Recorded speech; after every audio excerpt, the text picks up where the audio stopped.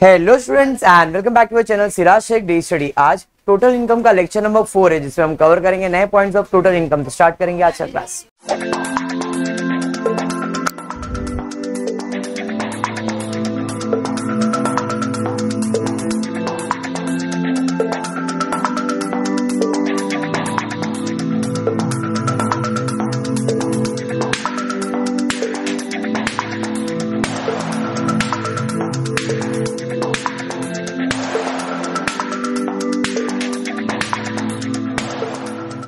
चलिए स्टार्ट करते सम जरा ध्यान देना। Mister Santosh Bansale who is physically disabled person 50 percent disability Harsh, क्या बोला है? जिसका आप हिसाब किताब करने वाले मतलब जिसका इनकम कैलकुलेट करने वाले हो, वो बंदा फिजिकली डिजेबल है मतलब हैंडीकैप है। और कितना हैंडीकैप है? 50 परसेंट चालीस से ज़्यादा ना चैताली तो इसको 40 से ज़्यादा और 80 तक है तो 75,000 का डिडक्शन मिलेगा। कौन से सेक्शन में? चैप्टर सिक्स में 80 यू में। यू सेल्फ के लिए डिडक्शन क्योंकि खुद हैंडीकैप है। समझाइए। आगे बढ़ते उसके बाद क्या दिया है? आगे दिया है fifty percent certified by the medical authority is employed with Roshan college of commerce he furnishes the following information for the previous year. 21-22 compute his taxable income for the assessment year 22-23 पहला है basic salary basic salary तो taxable ही होगा। चलिए ठीक है। Basic salary कितना मिल रहा बेसिक सैलरी दस हज़ार पर मंथ क्या ये बंदा रिटायर वगैरह हो रहा है क्या? नहीं। तो दस हज़ार इंटू बारह करेंगे एक लाख बीस हज़ार। एनी डाउट बढ़ेंगे आगे, उसके बाद क्या है? उसके बाद दिया है dearness allowance part of salary है डीए कितना मिल रहा है? तीन हज़ार पाँच सौ per month forty two thousand क्या बात नेक्स्ट उसके बाद. Arrear of salary not taxed earlier मिला है। मतलब पिछले कोई सैलरी जो नहीं मिला रहेगा, वो उसको मिला। उसके लिए तो इस साल का इनकम ही है। अरियर ऑफ़ सैलरी कितना है? दस। उसके बाद मेडिकल एक्सपेंसेस रिम्बर्स कल बताया था मैंने मेडिकल का जो खर्चा है, पहले पंद्रह हज़ार तक का एग्जामेशन था बट इस साल से क्या हो गया कि आपको पचास हज़ार का स्टैंडर्ड डिडक्शन मिल रहा है, इसलिए जो भी मेडिकल का खर्चा आप करोगे, वो आपके लिए टैक्सेबल होगा। फिर वो पाँच रुपया, दस रुपया, बीस हज़ार, जो भी खर्चा करोगे, पूरा टैक्सेबल है। क्लियर है? तो मेडिकल एक्सपेंसेस रीइम्बर्स पूरा आपके लिए टैक्सेबल है। मेडिकल एक्सपेंसेस रीइम्बर्स कितना है भाई? बारह हज़ार? फिर उसके बाद क्या है? लीव सैलरी कितना दिया? Leave salary receive fourteen thousand अब जरा लीव सैलरी के बारे में क्या है समझते क्या ये बंदा रिटायर हुआ है? नहीं। मतलब ये सर्विस कर रहा है? तो सर्विस करते समय आपको अगर ग्रेचुटी मिलता है पेंशन मिलता है लीव मिलता है, ये सब आपके लिए टैक्सेबल होता है फुल्ली टैक्सेबल है। तो लीव सैलरी एक ऐसा अमाउंट है जो आपके लिए क्या होगा? टैक्सेबल होगा। तो टैक्सेबल तो यहाँ पे लिखना पड़ेगा। लीव सैलरी कितना leave salary receive fully taxable क्यों है? समझ में आया ना? अगर मैं रिटायर होता तो मैं इसका कैलकुलेशन करता। रिटायर नहीं है, इसलिए फुल्ली टैक्सेबल नेक्स्ट उसके बाद एग्जामिनर एग्जामिनर से फ़ीस फ्रॉम कॉलेज जिस कॉलेज में काम कर रहा है, उसी कॉलेज ने उसको पैसा दिया तो वो इनकम फ्रॉम सैलरी होगा। लेकिन अगर कोई दूसरा कॉलेज उसे देता पैसा तो वो इनकम फ्रॉम अदर सोर्स होता बात समझ में आया क्या? वो जिस कॉलेज में काम कर रहा है, उसको उसकी कॉलेज से एग्जामिनेशन फ़ीस मिल रहा है। मतलब उसके लिए इनकम है। एग्जामिनरशिप फ़ीस कितना मिल रहा है? दो हज़ार नेक्स्ट उसके बाद क्या है? Fees for setting TY BCom paper for Mumbai university भाई, मैं कोई रीना कॉलेज में जॉब कर रहा हूँ रोशन कॉलेज में जॉब कर रहा हूँ, मैंने यूनिवर्सिटी के लिए पेपर सेट किया, उसने मुझे पैसा दिया। तो क्या मेरे बॉस ने मुझे पैसा दिया है? नहीं। अगर बॉस दे रहा है तो इनकम फ्रॉम सैलरी कोई दूसरा दे रहा है तो इनकम फ्रॉम अदर तो ये इनकम फ्रॉम अदर सोर्स में जाएगा। सैलरी के अंदर नहीं आएगा। उसके अलावा पैराग्राफ में क्या देते receive from Marvel publication for writing an accountancy book of rupees twenty thousand expenses incurred in writing the manuscript for this book, book was rupees 4000 pt was 2000 royalties मिला मतलब मैंने कोई अकाउंट्स का बुक लिख के एक मार्वल पब्लिकेशन को दिया। तो लोगों ने मुझे बीस हज़ार रुपया दिया। मेरे बॉस ने दिया नहीं कोई दूसरे सोर्स से मैंने कमाया तो ये इनकम फ्रॉम अदर सोर्स लेकिन वो बुक लिखने में मैंने चार हज़ार का खर्चा भी किया। तो जो खर्चा किया वो माइनस होगा, खाली इनकम रिकॉर्ड होगा। बात समझ में आया क्या चैताली? उसके अलावा क्या है? पीटीए, पीटी का तो डिडक्शन मिलेगा। मतलब और कुछ है क्या सैलरी से रिलेटेड नहीं। मतलब आप इसका टोटल कर सकते हो। हाँ जी। टोटल जीटीएस कितना है? क्या बात है। टोटल जीटीएस है दो लाख। दो लाख में माइनस करोगे डिडक्शन अंडर सेक्शन 60 एक और दो दो आने वाला है 16 में, एक तो स्टैंडर्ड डिडक्शन और एक है पीटी स्टैंडर्ड डिडक्शन कितने का आएगा? पचास हज़ार का। और पीटी का कितना है? दो हज़ार रुपए। माइनस कर देंगे तो जो आंसर आएगा, इसे आप कहते हो इनकम फ्रॉम सैलरी पहला पार्ट क्लियर कितना? डन इसको और एक सोर्स ऑफ़ इनकम है। Very good income from other source other source में पहला तो पेपर सेटिंग का पैसा मिल रहा है। कितना मिल रहा है? उसके अलावा रॉयल्टी मिल रहा है। बीस हज़ार रुपए रॉयल्टी मिल रहा है, जिसमें मैंने एक्सपेंसेस कितना किया? चार तो ये कितना हो जाएगा? सोलह अरे समझा? There for income from other source में कितना आएगा? Income from other source fifty six thousand forty plus सोलह ना? बराबर? फोर्टी थाउज़ेंड ही ना यहाँ पे कि चार? चार हज़ार ही है तो फिर बीस। हज़ार बराबर है?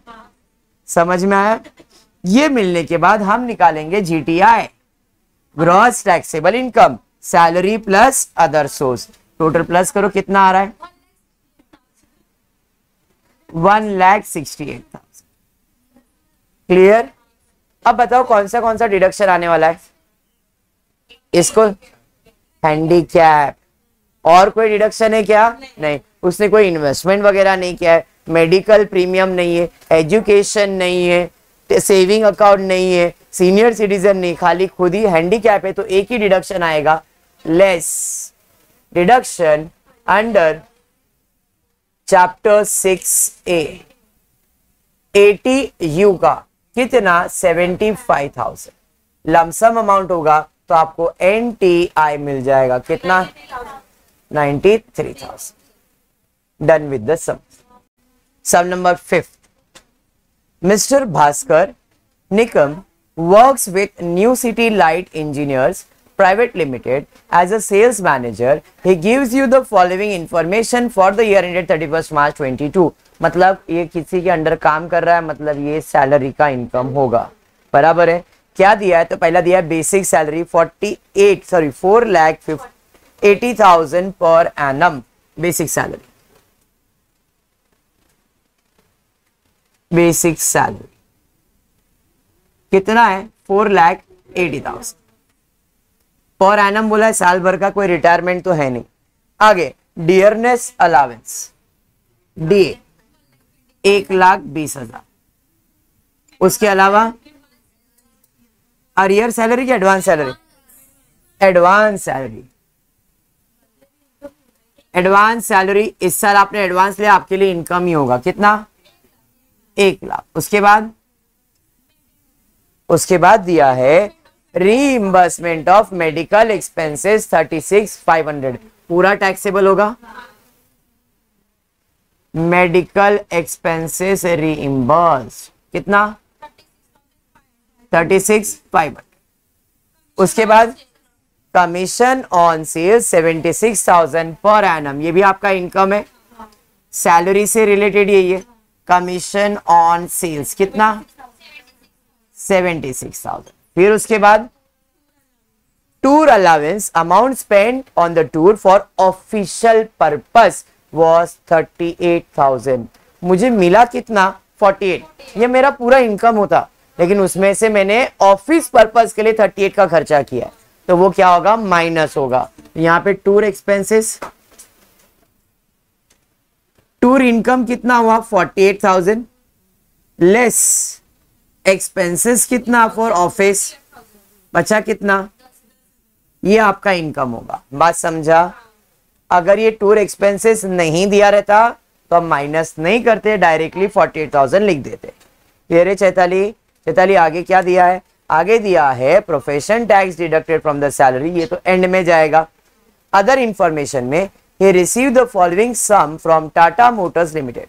Rupees 2000 as a dividend on equity, rupees twenty thousand as a interest on debentures उसके बाद ये सब इनकम फ्रॉम अदर सोर्स ही है उसके अलावा spend rupees sixty five thousand on medical treatment of his handicap dependent brother forty five percent disability है he has taken a loan from the bank of India for higher education of his son who is pursuing engineering degree with Pune university during the year he paid seventy two thousand as a interest on loan यहाँ पे deduction मिल रहा है। क्या deduction मिल रहा है? तो पहला तो उसने मेडिकल ट्रीटमेंट रखा है। हैंडीकैप ब्रदर का डिपेंडेंट का। डिपेंडेंट का कौन से सेक्शन में आता है? Eighty double D medical premium D और maintenance of handicap double D में आएगा। उसके अलावा एजुकेशन लोन भी है। उसके ऊपर इंटरेस्ट है। कितना इंटरेस्ट है? उसके ऊपर इंटरेस्ट है आपको कुछ सेवेंटी टू थाउज़ेंड तो इसका भी डिडक्शन मिलेगा। बराबर है कि नहीं हर्ष? बराबर? और क्या है? उसको इनकम है टू थाउज़ेंड का dividend on equity shares and twenty thousand interest on debentures बराबर? चलिए स्टार्ट करते हैं। मतलब सैलरी में तो इतना ही है? टोटल ले लेंगे, कितना आ रहा बताइए? Total